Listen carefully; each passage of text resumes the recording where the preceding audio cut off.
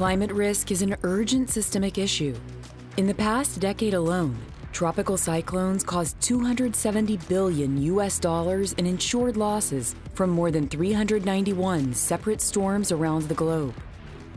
As the financial and humanitarian impacts from the peril grows, insurers need to understand how climate change, coupled with growing populations and exposures, will further impact their portfolios. Through data driven insight, insurers can continue providing cover in times of need, help customers better manage physical risks, and address the underserved with more affordable and scalable products.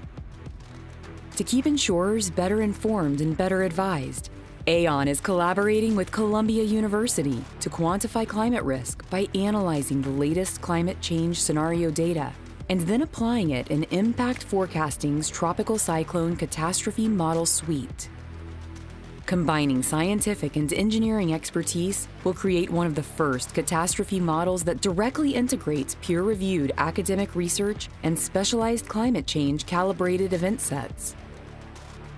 For insurers, this means insights to support regulatory reporting requirements using the Task Force for Climate Financial Disclosures inform strategic underwriting and investment opportunities to strengthen both sides of the balance sheet, the ability to create forward thinking insurance products, and of course, develop a bespoke view of risk.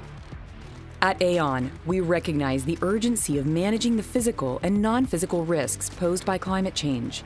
And that's why we have introduced a phased development approach with Columbia Starting with research driven frequency adjustments to the U.S. hurricane models, the team is committed to developing further insights for the Western Pacific and Indian Ocean basins, with specific focus on Japan and Australia. Discover how Aon is collaborating with leading scientists to understand and forecast the impact it may have on insurers' future portfolios so they can plan today.